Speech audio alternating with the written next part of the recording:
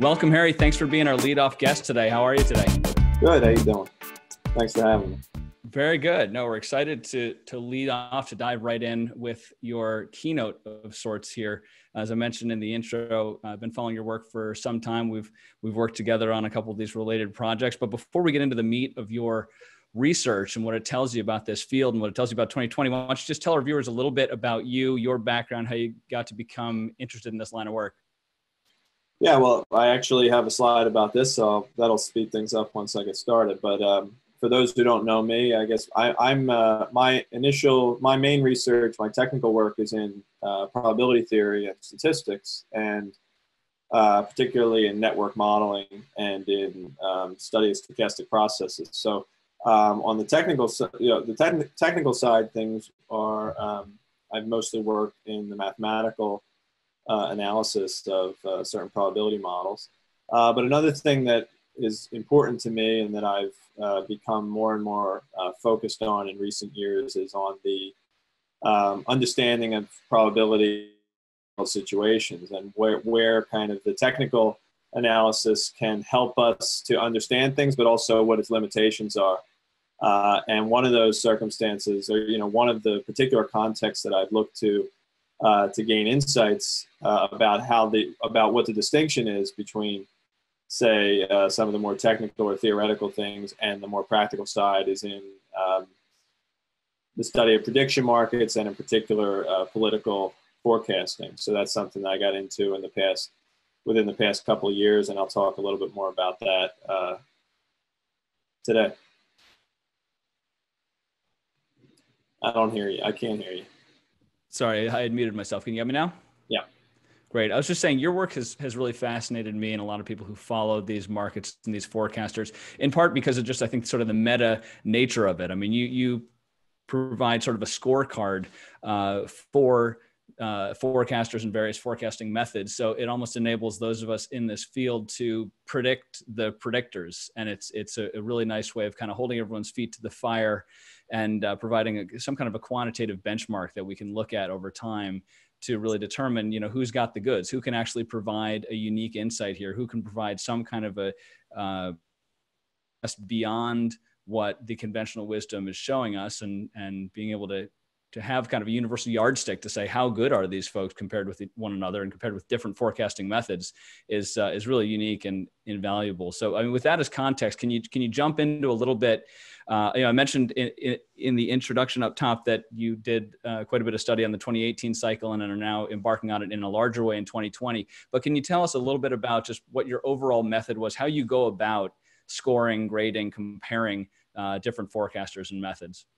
Well, the, the method, and I'll, I'll get into some of the specifics uh, later, but the, the, the, basic method that, that I'm uh, working off of, or the basic rationale is um, we have, on the one hand, we have forecasts coming from all different sources, but the one I focus on is 538, which is usually thought is the mo- probably the most popular and considered to be probably the best among, among that group of pundits and journalists. Um, and then you have the prediction markets on the other side um, where you actually have people putting up real money and you know risking their risking money based on what they believe is going to happen. So um, it seems like most of the time people groups are t- talked about or, or, kind of judged on separate grounds, and it seemed to make sense to me that if we wanted to get a, a if we wanted to get an idea of how valuable the so-called experts or the the um, the 538 forecasts are, uh, you know, or how, how better, how much better or worse they are than the prediction markets, then we should maybe put, or think about, you know, what it would have been like if you were to uh, employ some kind of investing or betting strategy based on the 538 forecasts and buying or selling depending on how those forecasts deviate or how the market prices deviate from forecasts. And so um, that was what I something I started uh, to look into in the 2018 midterm um, and the results were a bit mixed. Uh, in, in, in, part of, in some of it, it seemed that the, the, the uh, prediction markets came out ahead, and in other parts, uh, they didn't. Um, and so, what I wanted to do for 2020 is to start this uh, a lot sooner and to try to um, get maybe a little bit more of an in depth and more detailed analysis where we can follow it from the very beginning because I actually started that analysis in 2018, just a couple of weeks before the uh, before the election. So now we're ramping things up, starting to look at things already, and we want to actually be able to follow how how the trading would would go in this dynamic fashion. You know, basis if you were to trade from the very beginning of the cycle through the very end. Right. And so I want to get into 2020 in a minute, but but let's uh, back up for just a second and talk about the 28.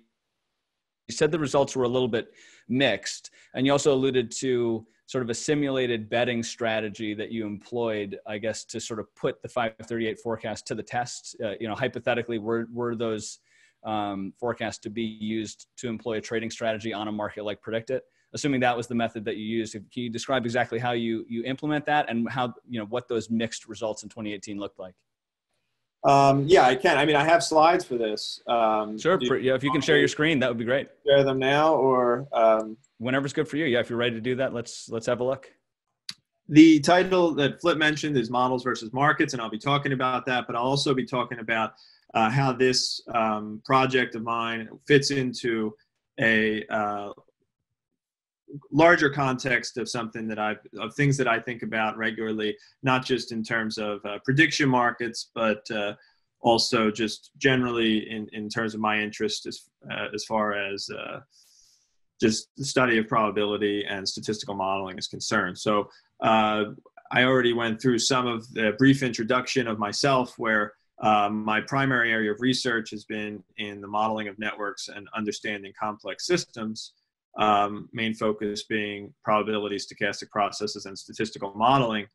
Uh, I'm not going to talk about the, that technical work at all today. Today, my focus is going to be on the um, some of the broader questions that arise uh, in trying to bring those technical ideas into a real world context to better understand uh, and well to better understand things that are happening and also to make better decisions particularly under uh, uncertain, well, decisions under uncertainty, but also to know the limitations of some of these technical methods. And there's a lot of there, there are a lot of contexts in which this is this this is important. Of course, finance, uh, any kind of financial or gambling or risk taking scenario, which is one of my primary interests, um, primary you can call it applied interest, and one of my initial interests in studying probability. Um, and today in talking about um, prediction markets kind of fits kind of perfectly into that uh, for reasons that I will uh, discuss. I also wanted to take a minute to kind of highlight a related initiative of mine called Researchers Researchers One, which is a, a website. It's a it's a publishing platform. Uh, you can go to the website www.researchers.one and check it out for yourself. But the idea behind this, and for those of you who are out there who have any academic or publishing research type experience, you'll you'll know a little bit more about what I'm talking about. You have your own experiences um, to to go off of, uh, but for for for various reasons, the kind of the uh, in, in my opinion, in the opinion of many, the the kind of the existing infrastructure out there for publishing scientific work is suboptimal for a number of reasons. And what Researchers One is attempting to do is to provide a an open access and a very a more transparent uh, kind of platform that hopes to kind of get rid of or to kind of cut through the noise and to provide a more robust uh, a more robust kind of scientific and public uh, peer review process uh, so that maybe the signal that you get or the or the the the um, shouldn't say not not value, but the trustworthiness of the literature uh, can be increased. And somehow I, I, feel that this is very closely tied to uh, what what many of you are already interested or are doing in your study of prediction markets, where in that case we have a in some sense a decentralized system where there's a lot of noise. Anybody can come in and put money into the market based on their opinion but the fact that in some sense nobody is nobody no no one person in the market trusts any other person in the market it's all about kind of skept, being skeptical and um, trying to cut through what you know what's what's signal and what's noise uh, somehow arrives at what we hope is a more reliable market signal uh, for whether it's for policy or other things that prediction markets are used for. So I would just invite you to check that out, as I think some, a lot of the ideas are um, and the guiding philosophy is uh, very similar. Uh, there's some references here, and I'll have these on a later slide um, just to, uh, in case you want to look at this further. I'll talk specifically about the project on models versus markets, this project that I started in 2018 and started thinking about how to um, understand um, how prediction markets compare to other types of other types of forecasting such as polls and punditry uh, but a lot of this actually for me is really just a specific application of a lot of important and interesting ideas in a much broader context where probability, uh, some fundamental ideas about probability come up. And those are uh, things that I would, um, that I'll talk about a bit here. In particular, the second, the fourth reference here, the, the called the fundamental principle of probability is something that uh, I think is uh, particularly relevant here. Okay. Okay. So just to um, give kind of a high high level overview, I'm going to get to the uh, political, the prediction market stuff towards the middle and the end of this. Uh, but to set the stage a bit, I mentioned that my my research is primarily in probability theory and mathematical statistics, mathematical probability. But what I'm trying to understand here is how how those ideas relate to a real world context. And when when these things are brought into a real world context, there are a lot of other considerations that come into play beyond simply you know setting up a model and seeing what it says and then you know just doing some math uh, there are uh, the major considerations that i'll focus on here and that i think are important uh, more generally uh, there are ethical considerations practical considerations conceptual ones and i think all of them are um, all of them can be highlighted and somehow can be captured very well within the uh, prediction market framework. Um, and I'm going to talk about that. Um, talk about that throughout, but just to highlight that, I'm going to focus these on what I consider to be three core principles of real world probability. And I'll highlight these as the fundamental principles of probability, of modeling, and of gambling, and how these apply in the context of prediction markets. So, um, what I'm calling, and, and actually, I, I should, I'll I should say that a lot of these ideas, even though they apply beyond political prediction markets, these ideas have developed for me since I started to study and think harder about uh, the political, the predictions, the election forecast within the context of the 2016 uh, election, and I'll I'll mention that in one or two slides.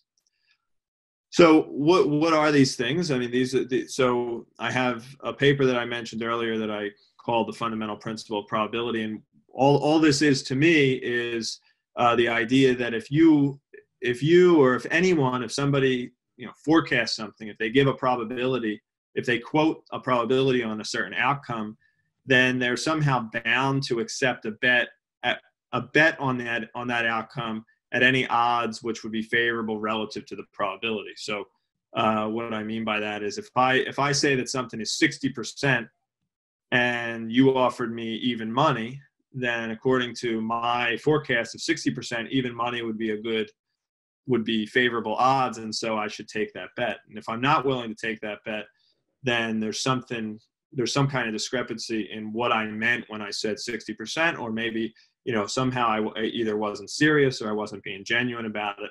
Um, and the only way that I that I can think, and there's this interesting thing about probability, is that there's somehow a very concrete mechanism automatically embedded into the concept of probability, which allows us to elicit whether or not somebody is being honest or genuine in the uh, the reporting of their beliefs via probability, and it's through this uh, through this principle. And so, of course, this is something that is inherent to prediction markets. That if you if if if I were a trader in a market and I had a belief that something had a sixty percent chance and the market was offering me fifty, uh, allow me to buy it at fifty cents, then I would be certainly willing to do that.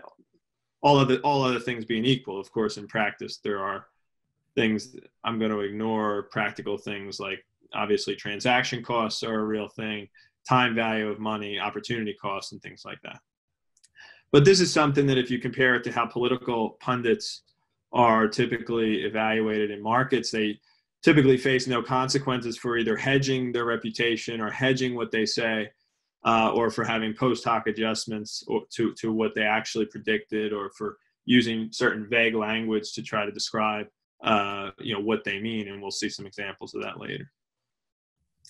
The second thing, uh, the second principle of modeling, which gets which is related to you know kind of everything that I study uh, elsewhere in terms of um, statistical modeling and anyone who's out there who's ever built a model for whether it's for prediction markets or political predictions or sports betting or finance or anything like that knows that it's very easy to be fooled by a model. It's very easy to convince it's it's easy to convince ourselves or it's easy it's easy for me to convince myself that before i before i um, before i fit the model of course everything in the model makes perfect sense to me. I think that that's exactly how the situation should behave and so then i expect that when i fit the model to the data that uh, somehow everything that it, it'll give me the insights that i need but in reality, once I have a model and I go to a market and the market disagrees with my model, then that's automatically a suggestion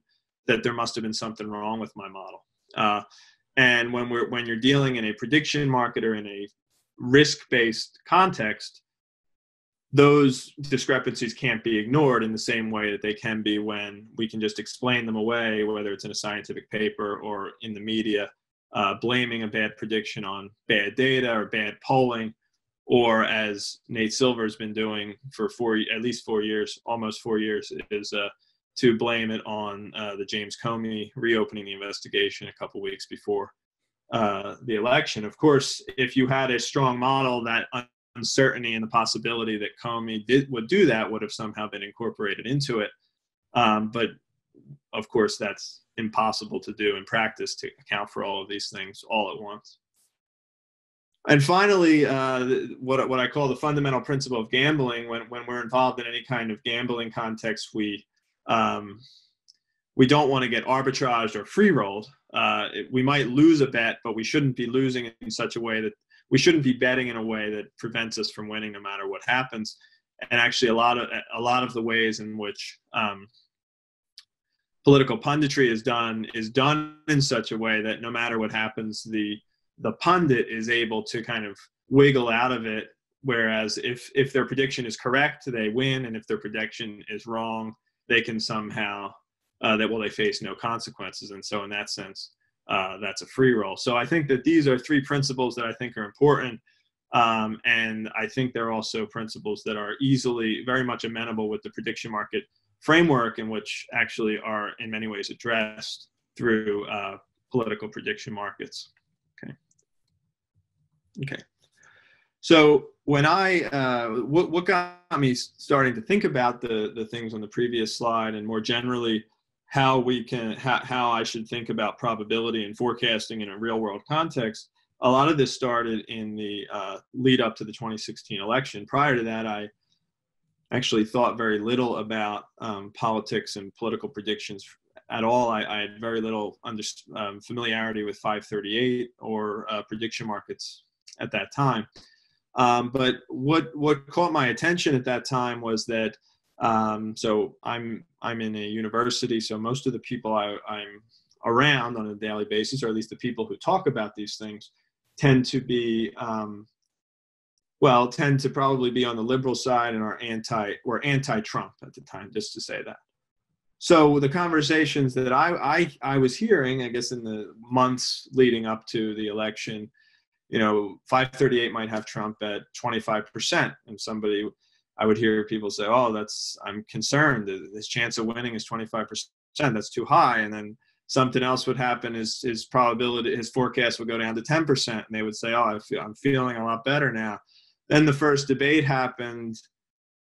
And I guess, Trump, you know, Trump did a lot better than people expected. And I believe 538's number went up to 35 or 40% on that day. And people started to freak out again. And so what I was what I was um, watching here, uh, and what what I found very interesting about this was that in principle there's supposed to be some kind of real world thing happening. And you know the, the debate is a real world event and that may or may not have um, increased uh, trump's chances of, of winning the election.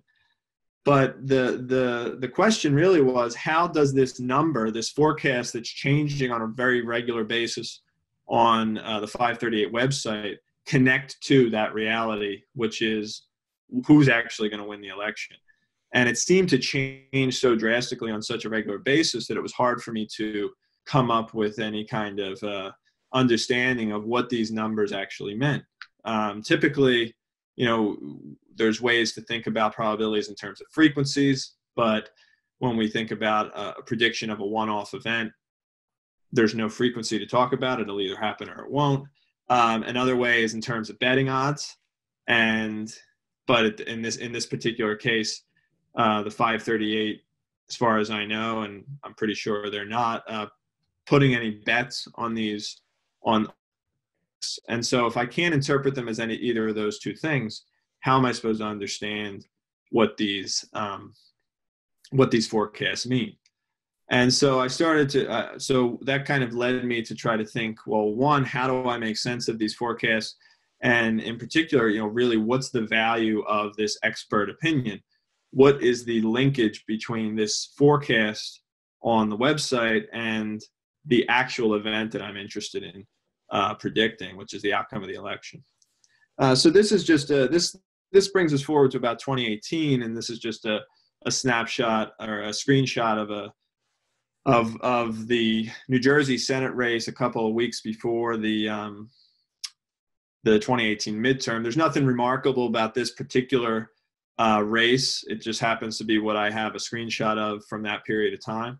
Uh, but it, it, but what what so here about a week or two before the election, uh, 538 gave Bob Menendez, who was a Democrat incumbent, a 90 percent chance of re- winning reelection. Uh, on that same day, PredictIt gave him a 78% chance. And so um, the question, of course, is well, those are pretty. That's a pretty big difference um, which of the two is which of the two is right which is more accurate which one should i look to or, or should i trust and of course in this particular case we can look back and see that um, well bob menendez actually won re-election so uh, in this particular case the 90% was turned out to be closer to reality um, but can't really tell anything from one race in particular from one race uh, but you know, the question is, well, this is a huge discrepancy. If you're, um, if the 538 estimate is right, then the market's offering something like a 12% or even higher edge to bet on Menendez, which even at the pretty exorbitant commissions that you get and PredictIt, that would be a uh, that would be a good bet to make. And it's a little it's it's a bit curious that um, the markets aren't responding to this number. I'm sure the traders on PredictIt are well aware of the 538 forecasts and probably use them in their models in one, one way or another. Um, but it must be that the markets are incorporating some kind of information that's not in the in the for some reason they're not they're they're not trusting the 538 number fully. Um, and so which of these numbers should I trust? Well, given the discrepancy, either the markets must be very inefficient, and there are probably inefficiencies for sure in the in the PredictIt markets, but they're probably not this inefficient, this close to an election. Um, or the 538 estimates are unreliable, maybe both. Um, but of course, if I think about this conceptually, I would expect that the markets are more accurate uh, because the people in the markets have more to gain, also more to lose uh, from being wrong. And actually, you know, when, when especially the, for the professionals in these markets, the difference between a 78 percent a 78 cent contract and an 81 cent contract is the difference between a buy or a sell possibly whereas the difference between a 78% forecast or an 80 81% forecast on on 538 isn't really going to get interpreted qualitatively uh, as very different and so there is an obvious incentive that the markets need to be much sharper and much more precise and so that that's kind of a hypothesis but the question then becomes um, is is that uh, is that is that right? Are the markets actually more accurate? So this gets to the project that Flip mentioned, and that I'm going to talk about um, that I want to highlight here. So uh, I already talked about the fundamental principle of probability, and it relates to this setting exactly because it raises the question of, well, what if, I mean, if this discrepancy is real and if the 538 forecasts are so much, are, are actually better than the markets, then there's a lot of money to be made by putting money, by betting money into these markets as a, by just going from the 538 forecast.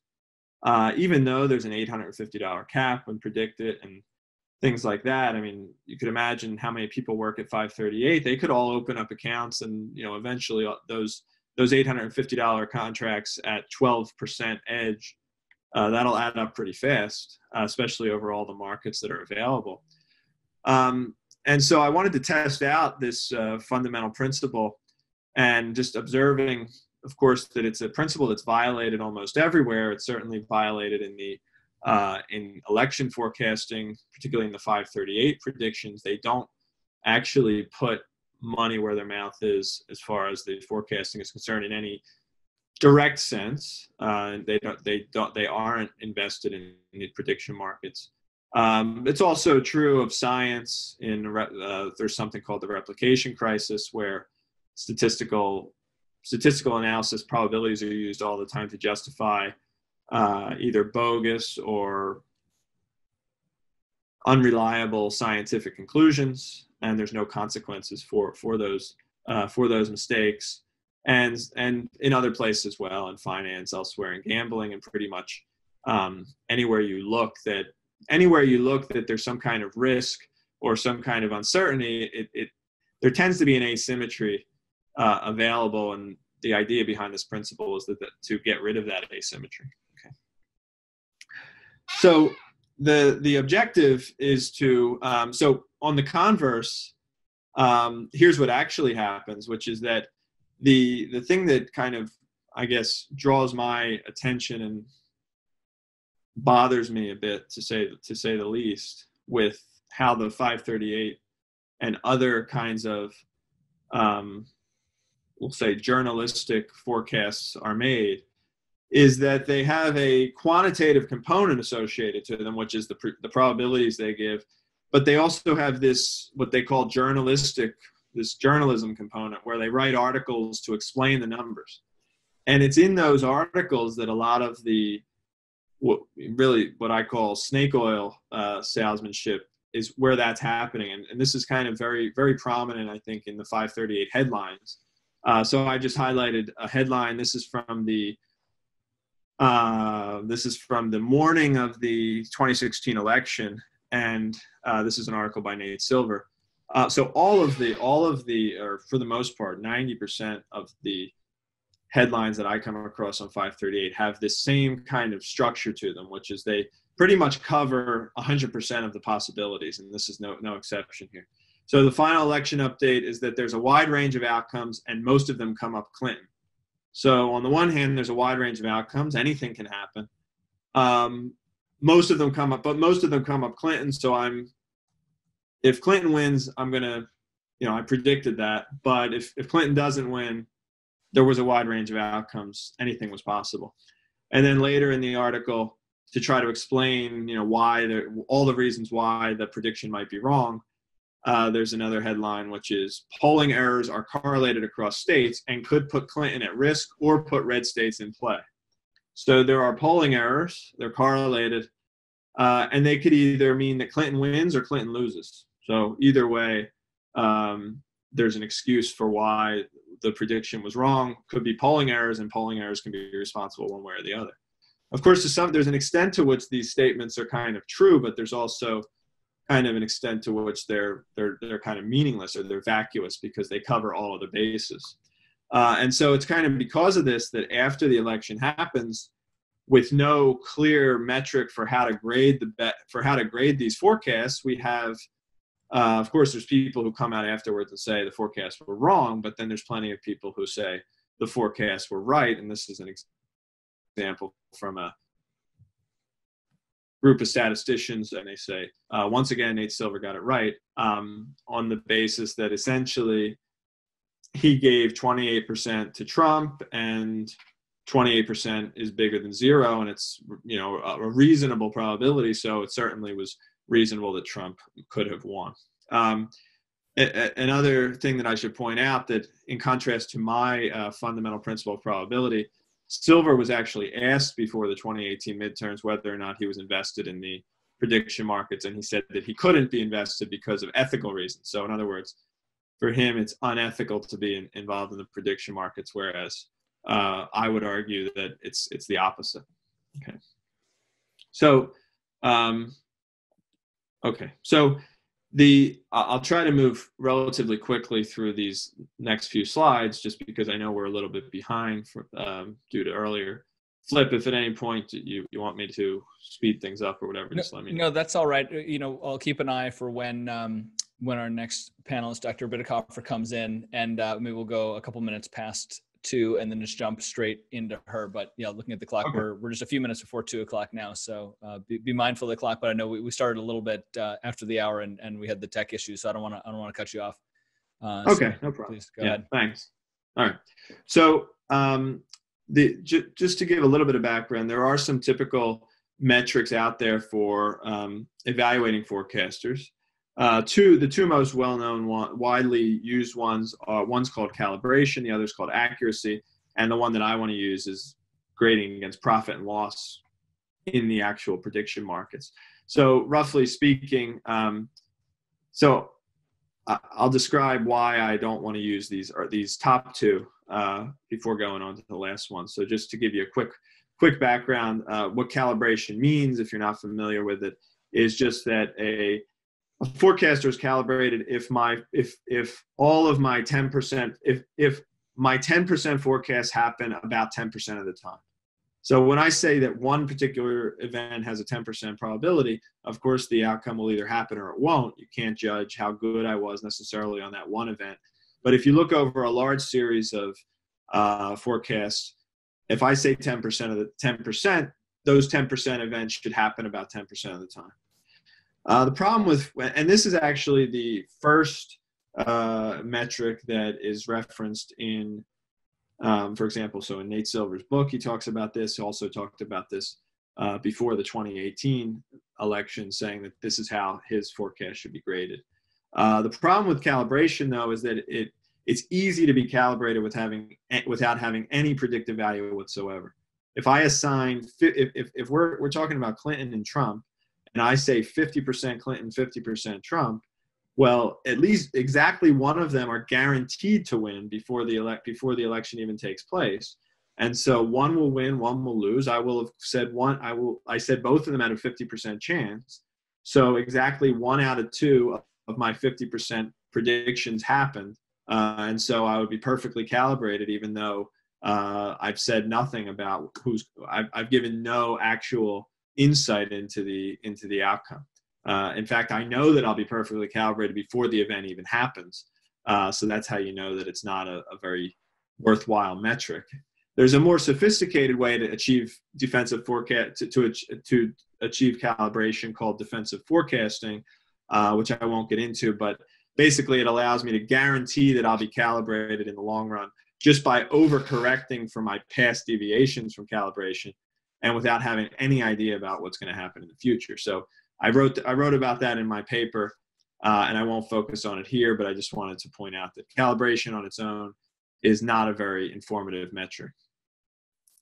Uh, a bit a bit better is something called accuracy, which is uh, a way of grading how close the forecasts are to the actual outcomes.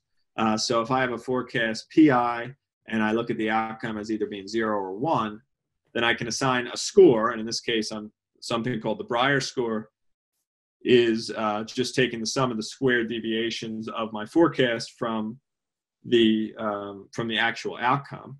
And I wanted to take a minute to show you, um,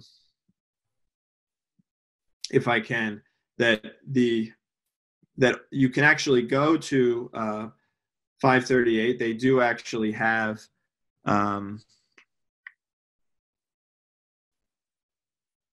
they do actually have uh, some So they do actually have a part of their website dedicated to evaluating how good their forecasts are. And if you go down here, uh, they show they show their Brier score for all of these different types of um, events. So here, these are sporting events. The yellow and the purple are political events, and they're comparing this what they call an unskilled forecast, which they believe, which they say is basically someone who just uses the long term uh, averages uh, to do to do a prediction, and they show that all of their forecasts do better than this so-called unskilled forecast. You can see they, they don't do very good in baseball. Actually, their sports their sports are really bad um, in general, but in politics they actually do well by this metric. They they they claim to do pretty good. Uh, there's a little bit of fine print. I'd have to you'd have to dig into it a bit more to actually evaluate the uh, how what these scores actually mean. But there's a bit of fine print here um, talking about, of course, in an election they have a prediction. They have a new forecast pretty much every single day, and then multiple times a day as the election comes up. So which of these many forecasts are they using?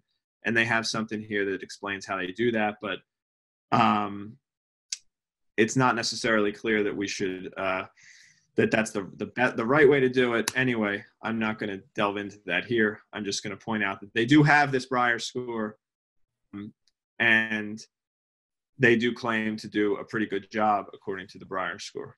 Okay. So, so Harry, sorry to interrupt, but just in the interest of time, with that as very good and thorough context, do you mind? Yes. Maybe uh, skipping ahead a little bit to, to give us your more comprehensive evaluation of how they should be scored and how they yes. how they fare upon that scoring. Okay, so thank you. So um, so that's what they've so that's what they've done, and here's here's my my proposal is to take take all take the forecast. So compare the forecasts. Um, so why is that not necessarily very informative? One is that they're comparing it against what they call an unskilled forecast. I'd prefer to to compare it to a skilled forecast and it's not clear that they're taking the uh, d- dynamics of this process into into account. And so, um, a better way to do it, and the way that I propose to do it, is to imagine that. Um, so, the basic method is to imagine that we were going to take the 538 forecast. We were going to we were going to uh, bet into the prediction market on a daily basis. Every morning we wake up, we see the deviation, we see how, what the prices are, we see what the forecasts are, and we either buy yes or we buy no according to how the market uh, looks compared to our forecast. And so that's what I did according to the um, that's what I did in the 2018 cycle. And the the the initial results for that are uh, shown in this table. And so I mentioned at the beginning that there was some mixed results. And what I mean by that is that in the Senate races, uh, the PredictIt uh, PredictIt did much better. So 538 lost. Uh, and in the House races, 538 did better than PredictIt. Uh, so it, it's a bit of a mixed bag, and this threshold here, uh, in the interest of time, I won't get into that, but it's it's trying to take into account the fact that it's pretty much well known that the for for very remote events for for a 99% chance, PredictIt tends to have prices that are much less than 99, maybe 97, 96. And so on these events, 538 would really be able to clean up in theory. Uh, but in practice, it's not really worth it for transaction cost reasons and things like that. Um, so that's just trying to account for the fact that 538's main edge would probably be kind of artificial uh, because of some of the inefficiencies that are known to exist in these markets. Uh, looking forward, I, I, had something here just to just to point out. I won't spend a lot of time on it. That Nate Silver actually did respond to this analysis. He called it very cherry picked, um, and that I'm ignoring the overall house odds where PredictIt was way off and where we would have bet a huge amount of money and was the source of most of our criticism.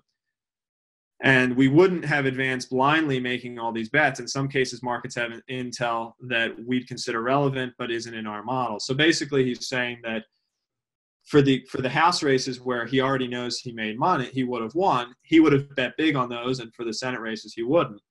Um, but this is all after the fact analysis, and I should just point out.